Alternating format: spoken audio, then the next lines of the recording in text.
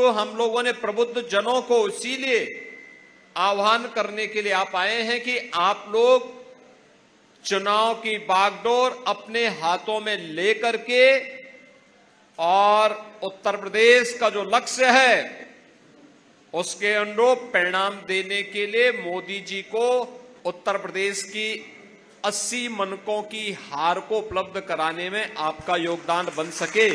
इसके लिए हाथरस के योगदान के लिए आपका आह्वान करने के लिए मैं स्वयं आपके बीच आया हूँ। आपकी अपनी भूमिका है। आप समाज की मान्यता को, उनकी राय को एक आवाज़ देते हैं। उन्हें अपने ओपिनियन के माध्यम से प्रभावित करते हैं। उनका मार्गदर्शन करते हैं। और इसलिए ज़िम्मेदारी आपके ऊपर है कि आपने बदलते हुए भारत को देखा है।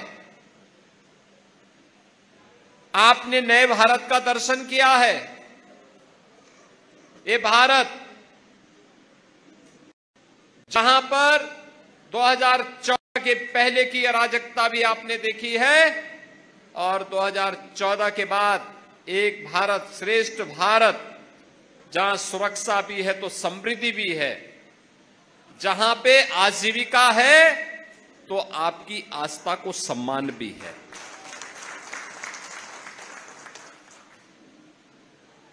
वैश्विक मंच पर भारत का सम्मान बढ़ा है। आज दुनिया के अंदर भारत का सम्मान बढ़ा है।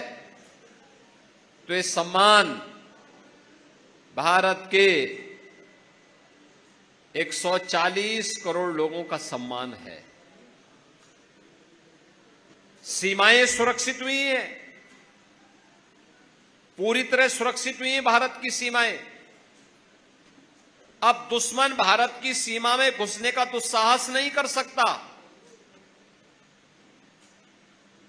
आंतरिक सुरक्षा की स्थिति बेहतर हुई है।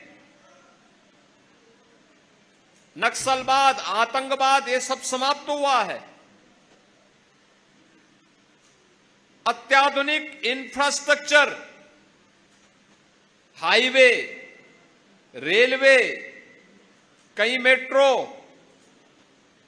कहीं पर एक्सप्रेसवे फोर लेन और टू लेन की connectivity IIT, IIM, AIIMS medical college engineering संस्थान। ये आज हमारी पहचान बन रहे हैं। गरीब कल्याणकारी योजनाओं की तो कोई सानी ही नहीं। यानी ये सभी नए भारत की पहचान बन रहे हैं और इन पहचानों के माध्यम से हमने मोदी जी की गारंटी को भी जमीनी धरातल पर उतरते हुए देखा है। और इसीलिए तो पूरे देश को मोदी की गारंटी पर विश्वास है।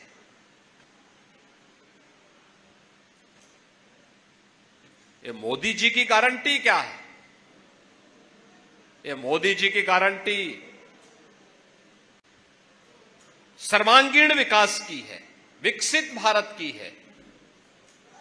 और उस विकसित भारत के लिए, जिस विकसित भारत में बिना भेदभाव के हर व्यक्ति, हर समुदाय, हर जाति के लोगों को पूरा सम्मान मिले, आगे बढ़ने का अवसर मिले।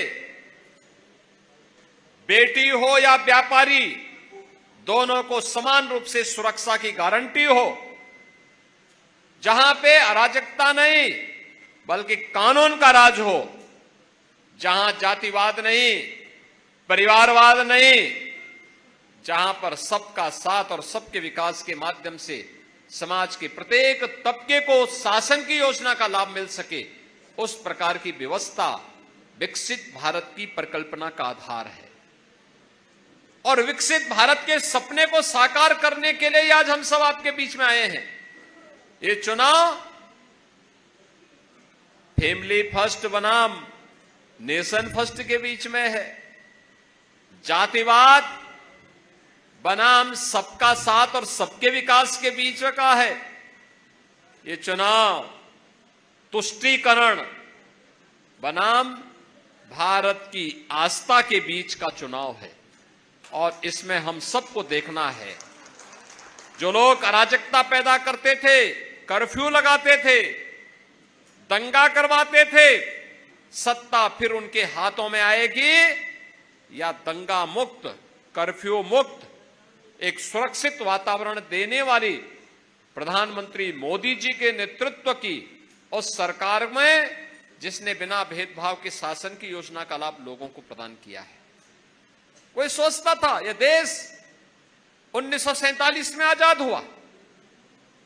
लेकिन 2014 तक इस देश की बड़ी आबादी ऐसी थी जो राशन के लिए तड़पती थी। आज मोदी जी के नेतृत्व में 80 करोड़ लोगों को फ्री में राशन की सौगात मिल रही है। करोड़ों लोग ऐसे थे जिनके पास सिर ढकने के लिए छत नहीं था। आज मोदी जी के नेतृत्व में, बहनों और भाइयों, मोदी जी के नेतृत्व में चार करोड़ परिवारों को सिर ढकने के लिए छत प्राप्त हुआ है। प्रधानमंत्री आवास योजना का लाभ मिला है। किसी परिवार में कोई गरीब बीमार हो जाता था। लोग तरसते थे, क्या होगा? कहाँ जाएँगे? गंभीर बीमारी हो गई तो पूरा परिवार तबाह हो जाता था। लेकिन आज देश के अंदर 60 करोड़ लोगों को पाँच लाख रुपए की स्वास्थ्य बीमा का कवर प्रधानमंत्री आयुष्मान भारत योजना के अंदर उपलब्ध हुआ है। देश आज़ाद हो गया, लेकिन लोगों के घर में बिजली नहीं पहुँची थी। ढाई करोड़ लोगों को फ्री में बिजली के कनेक्शन उपलब्ध कराए गए। दस करोड़ परिवारों में फ्री में रसोई गैस के कनेक्शन उपलब्ध कराए गए। यही है मोदी की गारंटी। बिना भेदभाव के न जाति देखी गई, न पाति देखी गई, न क्षेत्र देखा गया, न भाषा देखा गया। यही है सबका साथ और सबके विकास का वह भाव। जो वास्तव में भारत का दर्शन है। जो लोग आज भी मोदी जी पर उंगली उठाने का प्रयास कर रहे हैं, वे भारत के विकास के अवरोधक हैं। वे विकसित भारत के मार्ग के बैरियर हैं। हमें उस बैरियर को हटाना पड़ेगा और मोदी जी के नेतृत्व में एक सुरक्षित और समृद्ध भारत की परिकल्पना को साकार करने के लिए हम सबको कार्य करना होगा और इस देश से चुनाव महत्वपूर्ण है। इन चुनावों के लिए पब्लिक को बताना, क्योंकि यहाँ पे तीसरे चरण में चुनाव होंगे और तब तक गर्मी भी चढ़ चुकी होगी। और बहनों भाइयों, उस समय हमें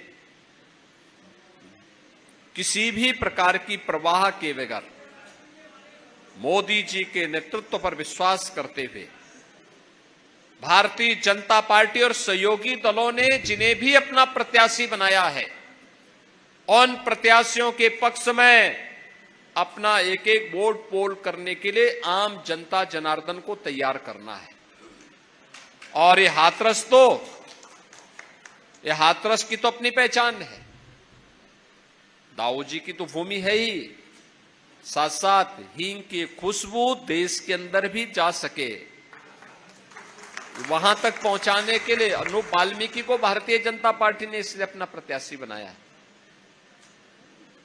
ये पार्टी के व्यवस्था का एक हिस्सा होता है। आज कोई एक प्रत्याशी है, कल नया प्रत्याशी आ सकता है। श्री राजवीर सिंह दिलेर वर्तमान में सांसद है। और मुझे बहुत अच्छा लगा वे आज अपना आशीर्वाद प्रदान करने के लिए इस मंच पर आए हैं अनूप वाल्मीकि को आशीर्वाद देने के लिए। एक सहज, सरल चेहरा, आज से नहीं, अपने पिता के समय से। उनके पिताजी श्री किशन लाल दलेर जी बहुत सज्जन आदमी थे। कई बार आप, आपका आशीर्वाद उन्हें प्राप्त हुआ। और उन्होंने लगातार अपनी सहजता और सरलता के कारण इस पूरे क्षेत्र को प्रतिनिधित्व दिया अपनी इस विरासत को आगे बढ़ाते हुए श्री राजवीर सिंह दिलेर ने उसी कार्यक्रम को आगे बढ़ाया। लेकिन पार्टी के कार्यकर्ता के रूप में पार्टी का आदेश आया कि नहीं, इस बार एक नया प्रत्याशी वहाँ पर आएगा, आपको पार्टी में दूसरी, दूसरे कार्य के साथ जुड़ना है।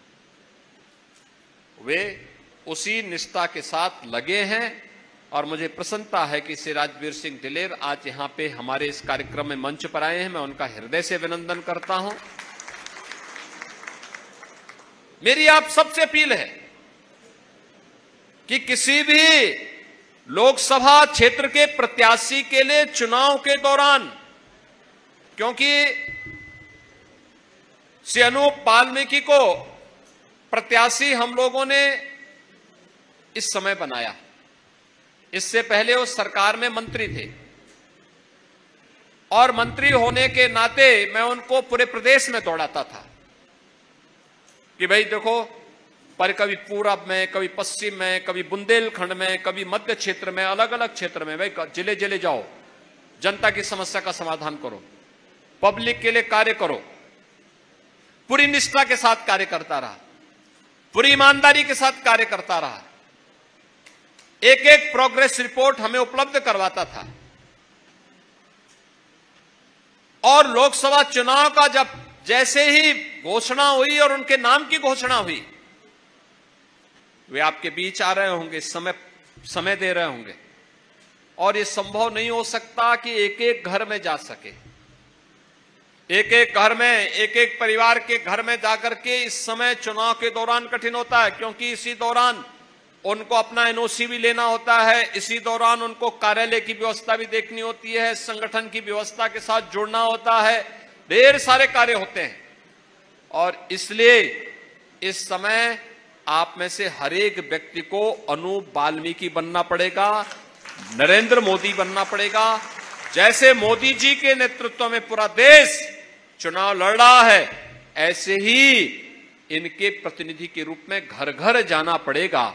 और घर घर जाकर के आप सभी प्रत्याशियों सब, सभी जनता जनार्दन से अपील करें कि वे मोदी जी के नेतृत्व में भारत को दुनिया की सबसे बड़ी ताकत बनाने के लिए एक विकसित भारत आत्मनिर्भर भारत ग्लोबल लीडर भारत एक ऐसा भारत जो दुनिया का पिछलग्गू न बने बल्कि दुनिया जिसके पीछे पीछे चले। उस भारत को बनाने के लिए मोदी जी को तीसरा कार्यकाल देना आवश्यक है। मोदी जी के तीसरे कार्यकाल का मतलब पहले तीन वर्ष में भारत दुनिया की तीसरी बड़ी अर्थव्यवस्था बन जाएगा। हर भारतवासी के लिए गौरव की बात होनी चाहिए। और इसके लिए, अनु वाल्मीकि के लिए यहाँ पर आपको एक एक घर में जाना पड़ेगा और ये तभी हो पाएगा जब आप सभी एक एक परिवार को मतदान करने के लिए प्रेरित करेंगे। एक एक व्यक्ति को तैयार करना है और ये ज़िम्मेदारी आपकी है। बूथों को संभालना आपकी ज़िम्मेदारी है। हर प्रकार से एक एक व्यक्ति को, जो जिस क्षेत्र में है, धर्माचार्य अपने स्तर पर अपने अभियान को आगे बढ़ाएँ, संगठन को उनकी जानकारी दिला दें अधिवक्ता समुदाय अपने स्तर पर अधिवक्ता समुदाय के साथ साथ समाज के प्रत्येक तबके को इसके बारे में जागरूक करने में अपना योगदान दें। शिक्षक समुदाय अपने तरीके से, चिकित्सक समुदाय अपने तरीके से, व्यापारी समुदाय अपने तरीके से, समाज का प्रबुद्ध जन अलग अलग तरीके से अगर इस कार्यक्रम के साथ जुड़ता है, कोई कारण नहीं कि श्री अनूप वाल्मीकि भारी बहुमत से विजयी बनकर के एक नए रिकॉर्ड के साथ देश की संसद में पहुँचेंगे। और देश की संसद में उन्हें पहुँचाने के लिए आपका आह्वान करने के लिए ही आज मैं हाथरस में आया हूँ। मैं आपका अभिनंदन करूँगा कि आपने विधानसभा चुनाव में हमारे सभी विधायक प्रत्याशियों को यहाँ से विजयी बनाकर के भेजा। मैं आया था उस समय, अंजुला माहौर जी के प्रचार में आया था, वीरेंद्र राणा जी के लिए आया था, छर्रा में भी मैं आया था, और इन सभी प्रत्याशियों के लिए मैंने उस समय अपील करने के लिए मैं आया था। और मैं आपका आभारी हूँ कि आपने उस समय अपना आशीर्वाद दिया था, जनता जनार्दन का आशीर्वाद प्राप्त हुआ था। आज प्रदेश में सरकार है। आप मुझे बताओ, प्रदेश में सरकार है तो सुरक्षा का माहौल भी है ना? विकास भी हो रहा है गरीब कल्याणकारी योजनाएँ जमीनी धरातल पर उतर रही, उतरती हुई दिखाई दे रही है। लोगों के मन में एक अपनत्व का भाव है। और देखिए, सरकार आती है तो कैसे कार्य होती है? सबके मन का कार्य कैसे? गरीब को गरीब कल्याणकारी योजनाएँ। धर्माचार्यों के लिए क्या चाहिए? उनके लिए चाहिए, पीढ़ियाँ खप गई और एक ही तमन्ना थी कि अयोध्या में प्रभु राम विराजमान हो जाए। देखा ना? आ गए ना रामलला। जिसके लिए पीढ़ियाँ तरस रही थी, उस कार्य को आगे बढ़ाने का काम हुआ। और अयोध्या में रामलला का विराजमान होना एक और। और दूसरी तरफ़ अयोध्या का जो एयरपोर्ट का नामकरण है, वह महर्षि वाल्मीकि जी के ही नाम पर है। देखो, कितना अद्भुत संजोग है। प्रभु राम के साथ हमारा संवाद बनाने का काम किसी ने किया था तो त्रिकालदर्शी ऋषि थे भगवान वाल्मीकि। महर्षि वाल्मीकि थे, जिन्होंने एक काम किया था। और आज तो हम एक बार अयोध्या भी प्रभु राम का स्मरण कर लेते हैं तो उससे भी हमारा काम चल लेता है। दूसरी तरफ़, अनु वाल्मीकि को भी आप वोट दे देंगे तो सीधे संवाद जुड़ जाएगा। इसलिए आज के अवसर पर मैं आप सबसे अपील करूँगा, हमें चुनावी सभाओं के लिए हम लोग अलग से आएँगे। मैं केवल आज आपसे अपील करने के लिए आया हूँ कि आपको अभी से लगना है, अभी से कार्य के साथ जुटना है और अब आप ये मत देखेंगे कि एक महीना इतने दिन बाकी रह गए, कुछ नहीं, आज से ही चुनाव प्रचार के लिए लग जाना है, अभी से माहौल बना देना है, जिससे सामने कोई दिखाई न दे। इस प्रकार की स्थिति आपको माहौल पैदा करना है कि एक तरफा चुनाव दिखाई दे और इसके लिए भारतीय जनता पार्टी और सहयोगी दलों के साथ मिलकर के जो रणनीति यहाँ पे संगठन ने बनाई होगी कि भारतीय जनता पार्टी लोक दल अपना दल, निषाद पार्टी अपने राजभर पार्टी, ये सभी लोग मिलकर के जो भारतीय जनता पार्टी का मोदी जी के नेतृत्व में एनडीए गठबंधन है, ये सभी लोग मिलकर के जनता जनार्दन के आशीर्वाद के माध्यम से भारतीय जनता पार्टी के प्रत्याशियों को भारी बहुमत से विजयी बनाने के लिए कार्य करेगा। आज के इस अवसर पर मैं एक बार फिर से इस पावन धरा को, दाऊ जी की इस पावन धरा को कोटि कोटि नमन करता हूँ। आप सबके प्रति आगामी जो पर्व और त्योहार हमारे आने जा रहे हैं, वासंतिक नवरात्रि भी है और रामनवमी भी है। तो इसकी